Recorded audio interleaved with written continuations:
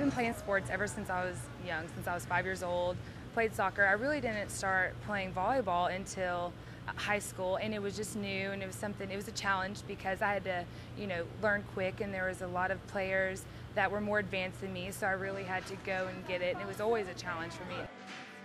Nice job, girl. I remember club was a lot of fun. It's traveling, and you know, it's playing a lot, and it is strenuous. But coming to college, um, it's a lot more learning your technique, learning fundamentals, um, lifting, getting stronger, building strength, jumping, watching videos, studying, you know, working on your arm swing. It's a lot more things not on the court.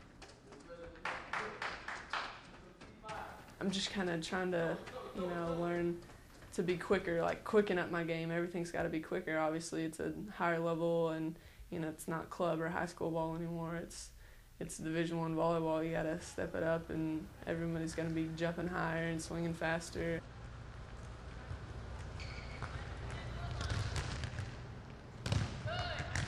I don't care where I have to play or what I have to do. Like I, I don't even know what I want to study yet. I just know that I want to play volleyball till my legs fall off and stay healthy. And whether I have to play beach or whether I have to play in Europe, I don't know where it's going to take me. Or you know, I'm hoping this fire stays lit in me.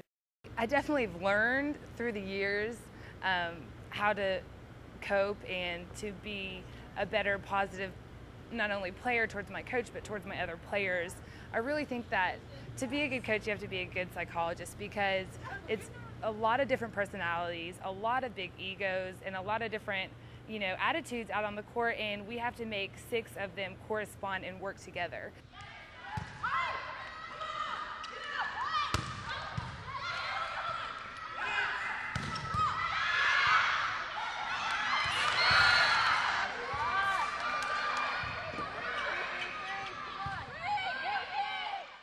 my goal from the very get-go was to be the best at everything that I do, to achieve whatever I could, but it was always at the, you know, to go to Division One or die, basically, was my attitude about it.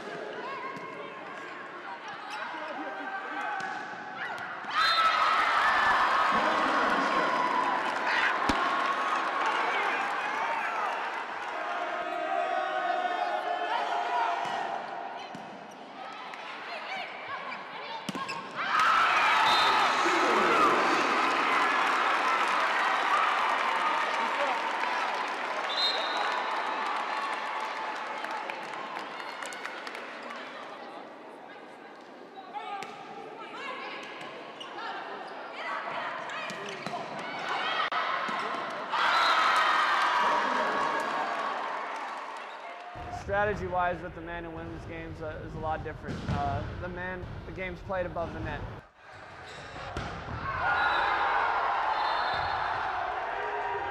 Uh, men bring the confidence, uh, a little bit of attitude, getting them to uh, open up to each other and feel comfortable with one another is, is probably the challenge there because you got the egos a little bit.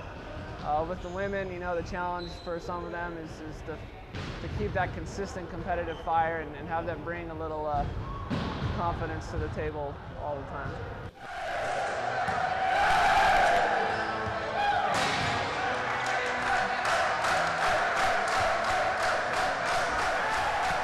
Energy level brings a lot of things, and you know we want to show our heart, show our desire on the court, on the sidelines, the whole entire time. Uh, and even when some negative things happen, you got to really gear towards the positive. Get geared back up, and that, that's the hardest thing to do, going from that negative to that positive. And you know, we work on it all the time, and I think it brings a lot to our team to be so emotional because it really gets us that momentum drive sometimes, brings us those close games uh, and those tight matches.